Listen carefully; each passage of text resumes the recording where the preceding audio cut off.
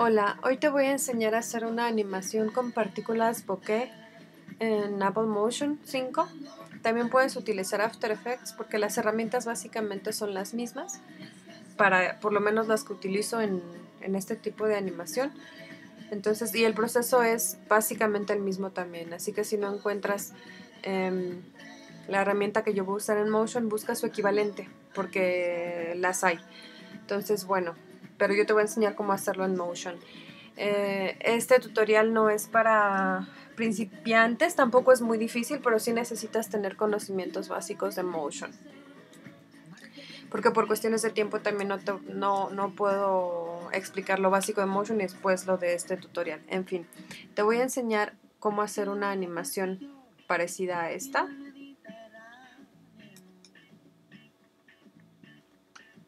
Obviamente sin la tipografía, únicamente la, la animación bokeh del fondo. Abre un nuevo documento en Motion.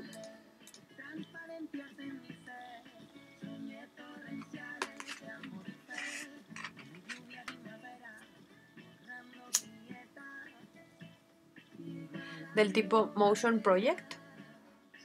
Lo abres. No cambié nada, únicamente lo abrí. Y lo primero que tienes que decidir es el fondo que vas a utilizar para tu animación. Puedes cambiar el, el fondo del proyecto directamente, pero yo prefiero hacer un rectángulo y colorearlo, porque así me lo trata como forma y no como el fondo.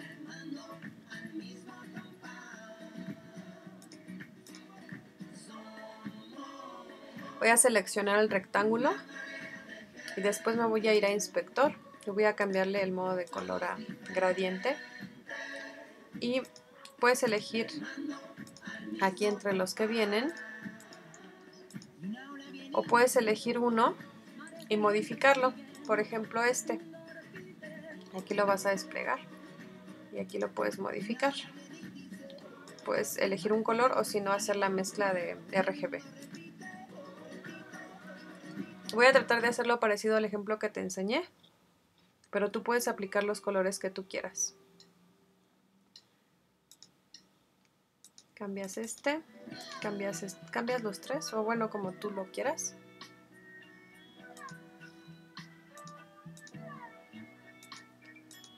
Este quiero un negro puro. Acomoda el, los colores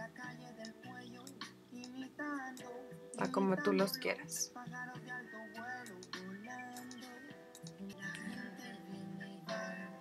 Si despliegas esta parte de Start y End, puedes cambiar los valores de X y de Y. De X si quieres que tu,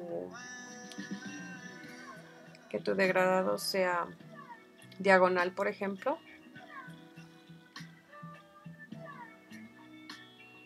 Y de Y qué tan qué tanto en este caso qué tanto se va a abrir mi color azul y después en terminar también puedes cambiar los valores.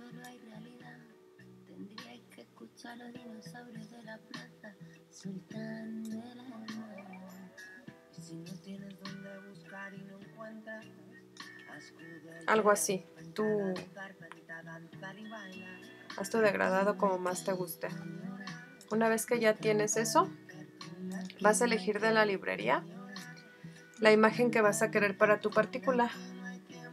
Si te vas aquí a contenido y después vas a imágenes de partículas, vas a encontrar una variedad muy grande de imágenes que puedes usar para tus partículas. Yo voy a elegir esta. Estas vienen ya por default en Motion. Pero si tú quieres dibujar tu propia partícula, puedes hacerlo aquí directamente con la herramienta pluma. Entonces em, yo voy a elegir una de aquí, esta que se llama dot 3 y voy a arrastrarla a mi espacio de capas. Una vez que la tengo aquí, la voy a seleccionar y voy a dar clic en este botón que se llama crear un emisor de partículas. Entonces me crea un emisor de partículas. Siempre fíjate que tu cursor esté al principio porque si no la instrucción que le des la va a hacer a partir de donde esté tu cursor. Entonces si te fijas aquí ya tengo yo mi emisor de partículas, solamente que no actúan como en un bokeh. Para cambiar eso, voy a seleccionar aquí donde dice emisor y voy a ir a inspector y aquí puedo cambiar yo las características de mi emisor aquí y en esta sección puedo cambiar las características de mi partícula. También puedo cambiar las características de la partícula si elijo la partícula y después voy a inspector y aquí en partícula. Si te fijas, cuando yo le di en este botón me creo estas nuevas dos capas, una que se llama emisor y dentro de ella es una copia de mi imagen que yo elegí para la partícula, pero ahora es la partícula, no es la imagen en sí. La otra imagen, la capa de la imagen la va a hacer invisible. Déjala así. Bueno, primero vamos a cambiar el emisor. Le voy a dar play para que veas los cambios. Ahorita lo tengo en punto, pero si le cambias, por ejemplo, a rectángulo, las partículas van a actuar diferente. Para hacer una animación bokeh, elige círculo o espiral. En este caso voy a elegir círculo. Y luego puedes cambiar el radio, puedes cambiar el número de columnas. Esto te estoy, te estoy ah, yo diciendo cómo funciona no te voy a dar valores específicos porque tú eliges los que a ti te gusten. Lo que tienes que hacer es experimentar con estos valores hasta que te guste el efecto final. Ya que tienes el efecto que quieres, vas a ir vas a elegir la capa de tu partícula y vas a cambiar los valores aquí en inspector y partícula.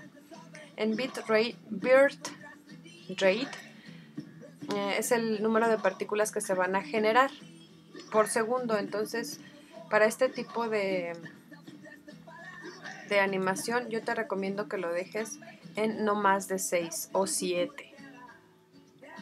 Pero es, te repito que como, como tú elijas. Si te fijas que hay poquitas partículas, entonces regresa a emisor y le vas a reducir el radio.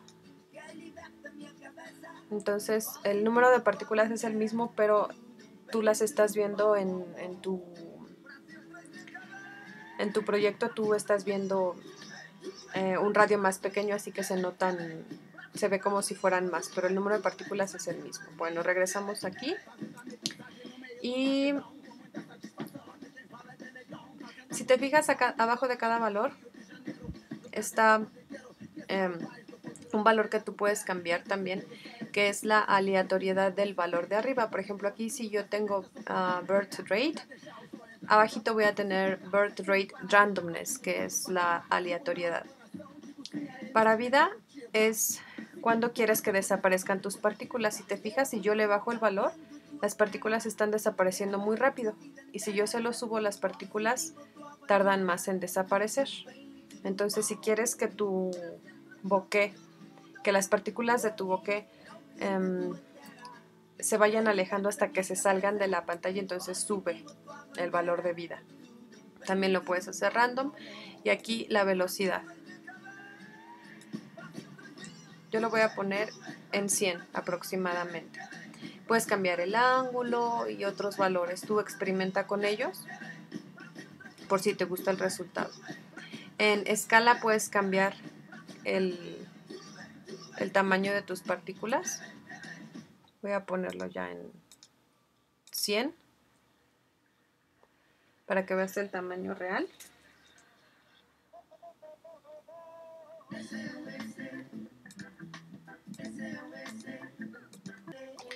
Entonces, en base al tamaño que tú le pongas aquí, aquí abajo igual dice aleatoriedad de tamaño súbeselo para que las partículas vayan cambiando un poquito de tamaño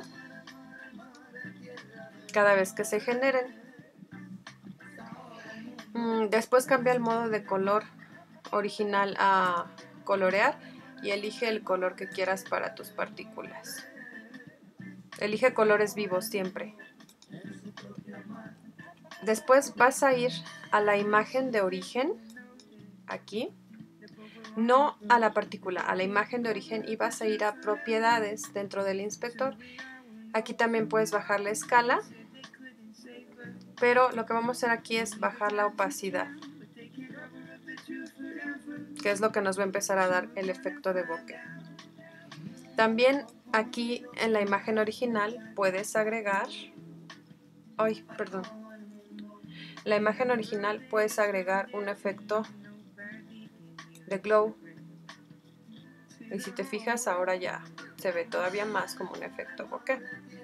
Yo en esta capa no voy a no voy a aplicar ese efecto, lo voy a aplicar en otra. Em, y ya, tienes tu primera capa de partículas bokeh. Después vamos a crear em, una partícula más. Vamos a ir otra vez a librería. Vamos a elegir eh, ahora esta. Ahora yo voy a elegir esta que ya tiene un... O, voy a hacerlo para que veas cómo funciona. Voy a elegir la misma y le voy a aplicar un, un degradado o un desenfoque. O puedes elegir una partícula que ya esté desenfocada, como esta. Bueno, voy a elegir esta, tú si quieres desenfocarla ya la desenfocas, igual aquí en efectos. Y a esta imagen, entonces ahora sí, como ya tiene el desenfoque ya no se lo aplico, pero le voy a aplicar un glow. Entonces ahora sí, ya tiene un glow. Si quieres cambiar los, las propiedades de ese filtro, entonces con esta seleccionada, esta, te vas a ir a inspector y luego a filtros y ya puedes cambiar el radio del, del brillo y la opacidad y lo que tú quieras. Em, una vez que ya tienes la imagen como quieres, vas a otra vez ir aquí al botón de crear un emisor de partículas y se va a crear tu segundo emisor de partículas. Vas a ir a Igual aquí vas a cambiar a círculo y vas a cambiar los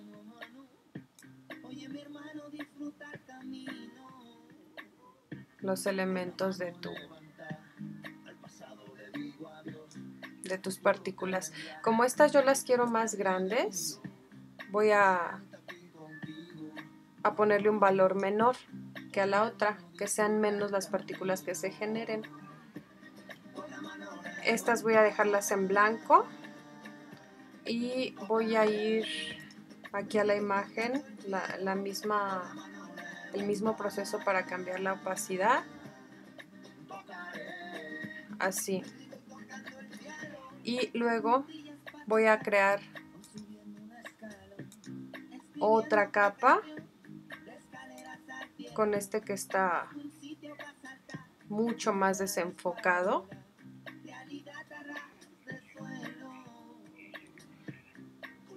Y voy a crear también un emisor y le voy a cambiar también los valores Aquí el truco está es que el truco está en que en que tú a cada emisor de partículas de los que estamos creando le pongas diferentes valores. Aquí le voy a cambiar el valor también. A este le voy a poner un este azul y le voy a cambiar la escala, que estos sean muy grandes.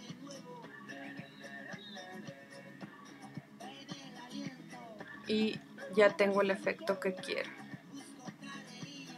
Voy a cambiarle, ah no, voy a cambiarle también la opacidad. También pon diferentes opacidades para cada partícula. Todos los valores para cada partícula deben ser distintos para que te dé el efecto de tan aleatorio que tiene el bokeh. Ya que lo tienes así, ahora puedes dejarlo así o puedes agregar un lens flare. Ah, pero antes de eso, antes de agregar el lens flare, em, también quiero decirte que puedes crear tus partículas personalizadas, no solo que sean puntos, también te puedes dibujar estos puntos, pero si te fijaste en el ejemplo que te enseñé, yo tenía unas partículas en forma de nube, entonces puedes dibujarlas aquí mismo con la herramienta pluma. Yo dibujé, por ejemplo, una nube o puedes elegir entre algunas de las formas que ya vienen aquí igual en librería y luego eliges eh, la sección shapes o formas. Entonces yo aquí tengo la, nube que dibujé y el proceso es el mismo, únicamente la arrastras hacia acá, vas a crear su emisor de partículas y le vas a cambiar los parámetros. Es lo mismo que lo que hicimos con, con los puntos y bueno, los puntos eran imágenes PNG que yo tenía en contenido, pero el programa actúa igual con una forma dibujada aquí mismo que con una imagen. Entonces, bueno, una vez que ya terminaste de diseñar todas tus partículas, ya sean eh, puntos o personalizadas, ahora sí vamos a agregar un lens flare. Vas a ir aquí a librería y luego a, generadores y vas a elegir lens flare y vas a arrastrarlo también hasta tus capas. Después vas a tomar esta herramienta de transformar y vas a, bueno, vamos a pausar aquí y vamos a seleccionar aquí el lens flare y vas a cambiarlo hacia donde lo quieras. Por ejemplo, yo lo voy a poner aquí y también puedes cambiar el, lo voy a poner aquí y también si lo seleccionas puedes cambiar los parámetros, por ejemplo aquí qué tan Ah, ah, pero para esto quiero decirte que tienes que alejarte y vas a hacer este cuadrito muy, muy, muy, muy grande. Entonces ahora sí, una vez que lo tienes aquí, lo vas a poner donde quieras que inicie su movimiento. Ahí está. Y después puedes cambiar el tamaño. Yo te recomiendo un tamaño no muy grande. La intensidad también se la puedes bajar o subir como quieras, los colores, lo que tú quieras cambiarle aquí. Y después con esto seleccionado, con este, esta capa seleccionada, vas a ir a behaviors o comportamientos. Ah, perdón, pero en la librería. Aquí. Y vas a elegir aquí, bueno, lo ponemos en lista y vas a elegir uno que se llama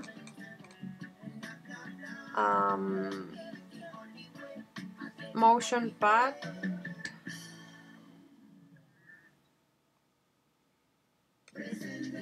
Motion pad aquí está. Y le vas a poner en con esta seleccionada le vas a poner en aplicar. Y ya lo tengo aquí. Hoy aplica muchos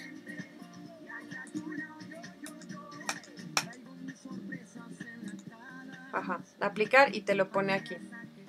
Y ya lo único que tienes que hacer después es mover hacia donde quieres que em, vas a elegir aquí la capa del motion pad y vas a, cambiar de donde a donde quieres que se mueva tu lens flare. Si lo quieres de aquí para acá por ejemplo así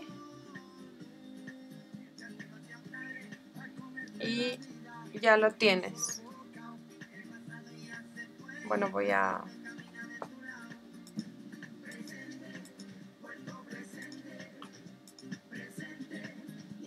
enseñarte.